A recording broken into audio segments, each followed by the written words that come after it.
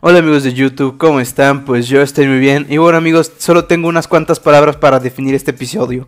Cielos, cielos, por Dios, centellas, rayos y cualquier otra onomatopeya que quieras agregar en este contexto. Nuevamente tenemos un nuevo capítulo de High School DxD Hero y amigos, por Dios, eh, la verdad me siento muy emocionado después de ver este capítulo porque tuvimos momentos divertidos, un santo momento deliciosísimo, tuvimos muchos momentos así suculentos, eh, más momentos divertidos todavía, hice sintiéndose el chinguetas como siempre y la aparición del nuevo villano en turno y otras y otras par de cositas por ahí que vamos a platicar un poquito más adelante. Así que sin perder más tiempo, comencemos a desvestir este glorioso capítulo. Eh, ¿Entiendes? desvestir porque es High School DxD.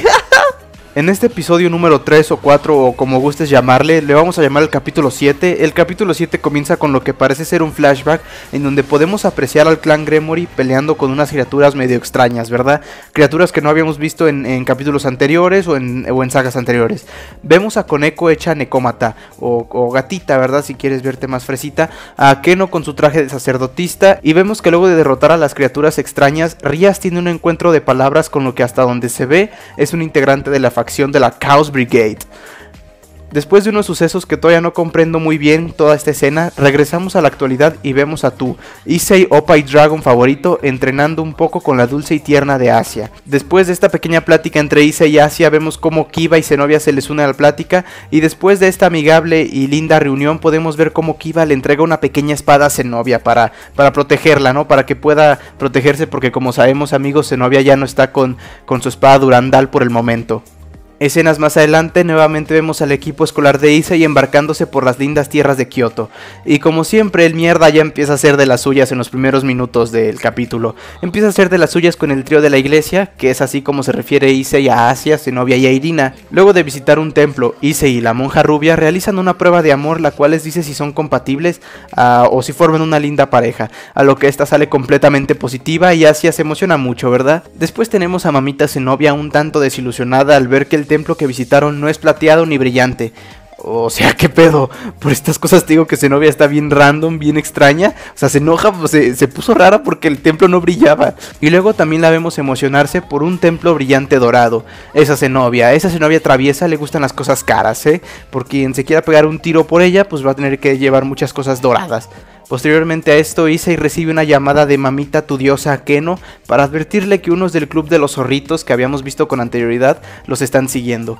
Pero la llamada es interrumpida ya que los Yukai se aparecen frente a nuestro grupo. Y bueno, uno pensaría que aquí se iba a hacer un, un gran follón, ¿verdad? Una gran pelea. Pero resulta que los Yukai o los zorritos venían en son de paz, gracias a nuestro querido Sensei Azazel. Y también ahí vemos una pequeña aparición de la maestra sensual de Roswise. Luego de esto, nuestras amigables leyendas son encaminadas con nuestra querida chica zorrito de nuevo, eh, la cual en esta escena les pide disculpas a Ise y al resto por su comportamiento pasado. Eh, solo que amigos, debo, debo, debo admitirlo, la manera en la que pide las disculpas es un poco curiosa, dejándola ver bastante tierna y graciosa. Podemos destacar esta, este, esta actitud que tuvo la chica zorrito. Nuestro buen adicto a los opais no pierde el tiempo para entablar una pequeña conversación con ella, eh, que ahora sabemos su nombre, Kunou. Que no nos sorprenda que el bastardo haga que la chica zorro se enamore de él, dado que, oh sorpresa, oh por Dios, qué, iluminación, hablamos de Issei después de todo, ¿verdad? Issei, el todas suyas, que ha conquistado a todas las mujeres de su harem. Podemos apreciar una charla en donde Leviatán Sama los pone en contexto a todos y a grandes rasgos vemos cómo solicitan la ayuda de nuestros héroes para salvar a la princesa Yasaka, que, vaya sorpresa, es la mamá de la chica zorrita. O Kunou, ya no le voy a decir chica zorrita, Kunou, Kunou se me va a quedar el nombre. Y como no conocemos ya al buen Issei, pues nos, sorprende de nuevo, ¿verdad? Nunca puede estar tranquilo, se pone a pensar en sus leperadas en pleno momento serio, lo cual nos brinda el primer momento delicioso del capítulo, amigos, que es entre Issei y la princesa Yukai. Y oh por Dios amigos, debo decirles que esta chica sí llamó mi atención, sí me gustó la verdad. En comparación con, digamos, con Elisha que salió en el capítulo anterior. Elisha digamos que no me gustó tanto, o sea, digamos que tiene sus opais por ahí, pero no, no me gustó tanto, ¿verdad? En, en cambio la reina esta o la princesa Yasaka, oh, esta sí que, sí que tengo intriga por verla más en pantalla. Continuando con el episodio, el mierda es interrumpido de sus pensamientos eróticos gracias a Asia, lo cual nos brinda una de las caras más graciosas que ha puesto el Opie Dragon. Y lo digo en serio amigos, me dio mucha risa cuando vi su jeta, o sea, está súper exagerada, súper enferma. Y ya después de que los Yukai solicitaran la ayuda de nuestras grandes y magníficas leyendas, como lo es Sisei, Zenobia y todos ellos, eh, tenemos otra escena donde podemos ver a la presidenta berrinchudita, ¿verdad? Nuestra linda presidenta berrinchudita. También tenemos a Keno, también conocida como la enferma sátira sensual, y a tu diosa Conequito, Conequito Toujou que están todas estas tres chicas en las aguas termales y en las regaderas, discutiendo sobre cosas que en esta ocasión no nos va a importar mucho el día de hoy, porque lo único que podemos destacar son esos gloriosos, perfectos y suculentos opais de las tres preciosuras, ¿verdad? Como siempre, eh, ya me están dando más eh, escenas así, y pues yo, yo voy a vivir feliz por el resto de mi vida, amigos, así se los digo. Para estas alturas del capítulo yo pensaba que hasta aquí tendríamos de diversión, que por cierto esta diversión es 100% verificada por Leon Tiles. Cuando tú veas una escena así que digas, güey, esta escena está bien padre, recuerda que es una escena 100% verificada por Leon Tiles, garantizada y tiene el sello de aprobación de Papito Leon Tiles. Y bueno, yo pensé que con estas dos escenas entre la princesa Yasaka y las tres diosas, ¿verdad? y ahí vamos a tener suficiente por este capítulo. Sin embargo, saltamos a la siguiente escena en donde vemos a una Asia en el cuarto de Issei para jugar un poco. Eh, jugar, nótese con las comillas, dos comillas ahí, ¿verdad? Unas comillitas. Y por Dios, por Dios, Vemos a una Asia bastante lanzada, que ya le tomó la delantera a la pobrecita de Coneco, ¿verdad? Coneco ya le dejaron atrás. Y al parecer también a Rías, puesto que ya llevan dos besos en lo que va la temporada. Y creo que Rías pues solo llevan el primero, ¿verdad? Su beso es interrumpido por la ángel Irina, e inmediatamente a la fiesta se les une Zenobia. Esto nos brinda amigos uno de los mejores momentos de lo que lleva el anime.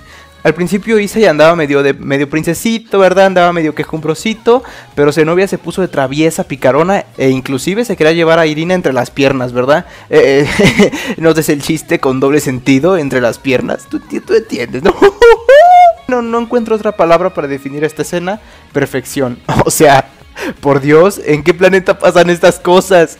Y luego la Irina diciendo el precio del autosacrificio. Luego de esto, Asia reacciona, vuelve en sí, ¿verdad? Porque estaba desmayada. Y es cuando el buen Issei comienza a hacer de las suyas con todo el trío de la iglesia. Como recordaremos, así les llama Issei a estas tres chicas. Y el bastardo tuvo para él solito a Asia, Zenobia y por primera vez a Irina, ¿verdad? Ya habíamos visto un momento entre Zenobia y Asia en temporadas pasadas, en donde simplemente llegaba Irina a arruinar el momento. Pero, pero por primera vez vemos una escena en donde Issei ya tiene a las tres para él solito. Ya lo presentía, amigos. Sabía que el turno de ellas dos estaba cerca, hablando de Zenobia e Irina. Y fue en este capítulo donde, por Dios, me dio tanta risa y estuvo tan épico, tan rico, que son momentos que jamás olvidaré en mi miserable y triste y cruel existencia, ¿verdad, amigos? Son momentos que llevaré en mi corazón en mi, en mi Kokoro para mis amigos otakus eh, para siempre. Escenas posteriores les puedo decir amigos en resumen que la chica zorrito es la guía de la ciudad y están visitando uno que otro templo, están explorando la ciudad y llegan a un punto en donde están comiendo tofu o algo así. Están todos juntos comiendo y lo más resaltable aquí es que podemos ver que Irina ya cayó ante los encantos de la bestia amorfa, ¿verdad? Ante el buen Opie Dragon y la verdad no es ni de sorprenderse amigos, al final todas acaban cayendo en las garras del dragón emperador rojo. Ya, ya se había tardado Irina, ¿no? Ya creo que ya ya se había tardado poquito. También vemos a una maestra loquilla como lo es Rose Wise poniéndose hasta la madre de alcohol y reviviendo sus penas de chica solitaria, de chica solterona, reclamándole al pobre de Azazel, güey. O sea, pobre tipo. Pero, güey, las caras que ponen, está, estuvo, te digo que este capítulo estuvo lleno de momentos graciosos y divertidos. Y bueno, amigos, después de ver a Rose Wise borracha, podemos ver la última escena que se desarrolla en un puente. Y en esta escena podemos ver eh, cómo les tienden una trampa a nuestras leyendas, ¿verdad? A nuestros queridísimos héroes. Y vaya sorpresa porque aquí es donde podemos ver por primera vez al villano en turno. Podemos ver la aparición de este personaje que me parece se llama Cao Cao, ¿verdad? Podemos ver cómo se presenta ante Azazel y ante Opie Dragon. Pero hasta aquí nos deja el episodio que, que, nos dejó con bastante intriga, la verdad. Ya quiero ver la pelea que se disputarán estos dos grupos entre la Chaos Brigade y el Clan Gremory, ¿verdad amigos? Ya no lo puedo esperar, quiero ver ese capítulo. Y bueno, a grandes rasgos, todo este episodio podemos definirlo con grandes momentos, grandes escenas, eh, grandes opais, ¿verdad? Sobre todo, eh, excepto los de Conequito, que no importa, yo así la amo.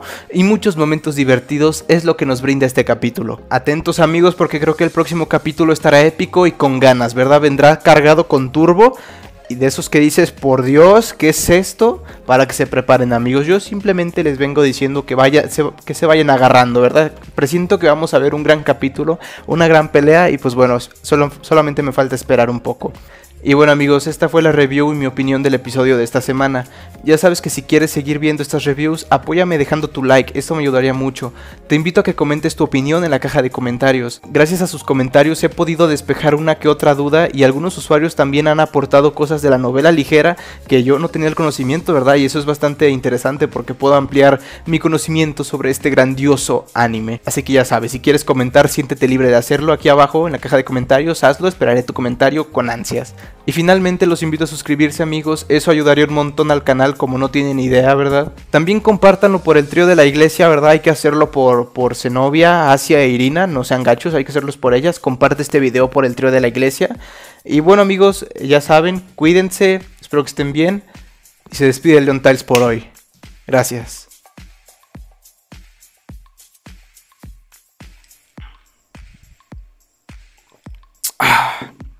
Una agüita de limón para este calor.